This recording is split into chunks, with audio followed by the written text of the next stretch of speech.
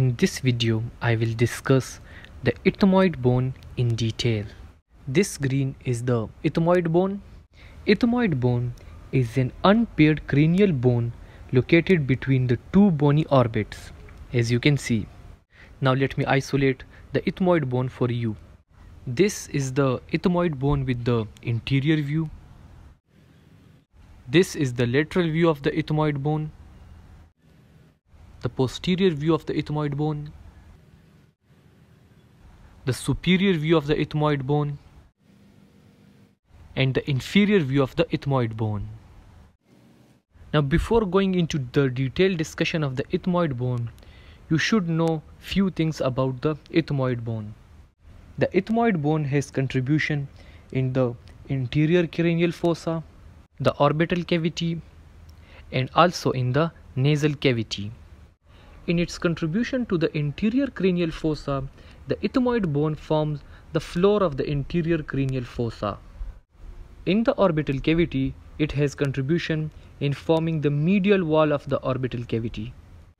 While in the nasal cavity, it has contribution in making the nasal septum and the lateral wall of the nasal cavity. We will discuss each of these in detail as we move forward. The simple and easy way to understand the ethmoid bone is to divide it into two parts. One is the median vertical plate and the other one is the left and right labyrinth. The median vertical plate include the crista galli, the cribriform plate and the perpendicular plate. While the left and right labyrinth include the medial wall, the ethmoidal air sinuses and the lateral wall. This is the median vertical plate and as we discussed it consists of three parts the crista galli, the cribriform plate and the perpendicular plate. This is the crista galli. Crista galli is a thick midline smooth triangular process arising from the superior surface of the ethmoid bone into the anterior cranial fossa. In this model, this is the crista galli. The crista galli separate the two olfactory bulbs as you can see in this diagram. This is one olfactory bulb and there is another olfactory bulb over here which is missing in this diagram. And between these two olfactory bulbs lies the crista galli and to the crista galli is attached the falx cerebri. This is the crista galli and this is the falx cerebri attached to the crista galli. Next is the cribriform plate. Cribriform plate is the plate that is separating the crista galli from the perpendicular plate. The cribriform plate has many pores in it that allow the passage of the olfactory nerve. Through the cribriform plate, the left and right labyrinth are attached to the median vertical plate. The cribriform plate is attached laterally to the orbital plate of the frontal bone. In this model, this is the cribriform plate and over the cribriform plate the olfactory bulb is present. And as you can see through the pores of the cribriform plate the fibers of the olfactory nerve passes. There is also two most clinical importance of the cribriform plate. In head injury, if the cribriform plate get ruptured, the patient will experience two things. One is the CSF rhinorrhea, that is from the anterior cranial fossa, the CSF will leak into the nasal cavity. And the second one is the loss of smell sensation. This is due to damage to the olfactory nerve.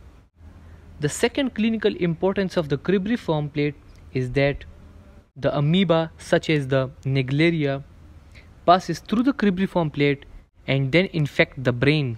The third part of the median vertical plate is the perpendicular plate. The perpendicular plate has contribution in making the nasal septum, separating the right and left airways of the nasal cavity. The other bone that has contribution in making the nasal septum is the vomer bone. The perpendicular plate extends from the inferior border of the cribriform plate.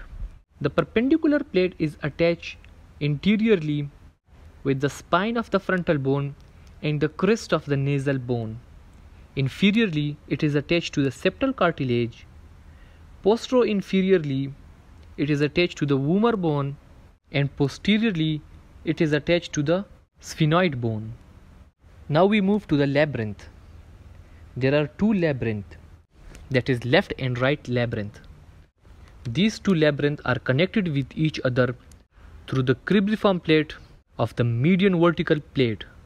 Here we will take one labyrinth as a representative.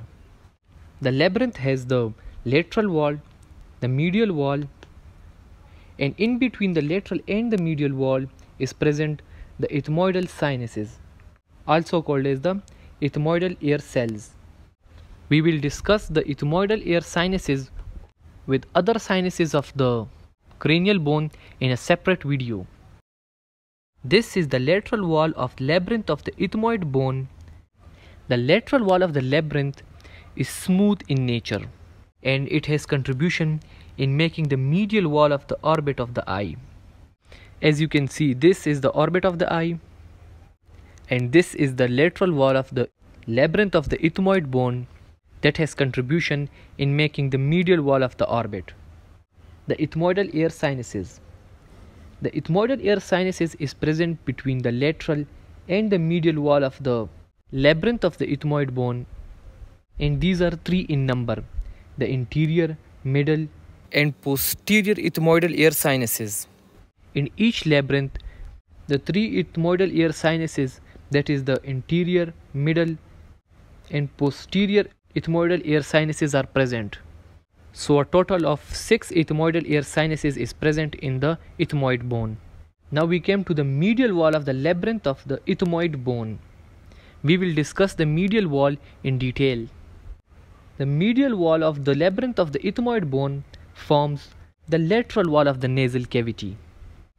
And also, in the medial wall of the ethmoid bone, there is two bony projection. These are called the superior nasal concha and the middle nasal concha. Now let's look at the lateral wall of the nasal cavity and remove the nasal concha to have look at the structures underneath it. These structures are difficult to understand on the ethmoid bone alone. So we are looking at the lateral wall of the nasal cavity to better understand it. Now in the lateral wall of the nasal cavity there are these seven structures that you see and these structures are present on the ethmoid bone. First is the sphenoethmoidal recess. This is the sphenoethmoidal recess lying posterior and superior to the superior nasal concha. Number 2. The superior meatus.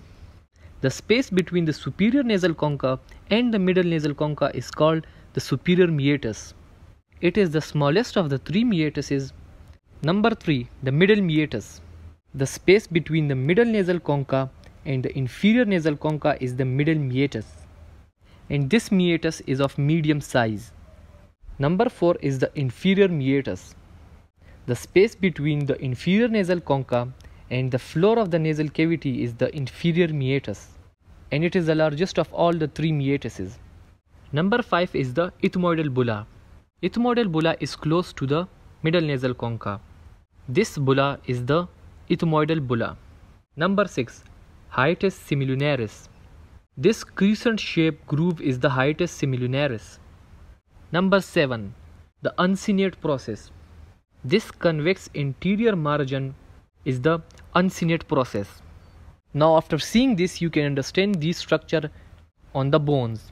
Now this is the ethmoid bone, this is the ethmoidal bulla, hiatus semilunaris, uncinate process, the superior nasal concha, the middle nasal concha, sphenoethmoidal recess, superior meatus, middle meatus, this is all about the ethmoid bone. Thank you.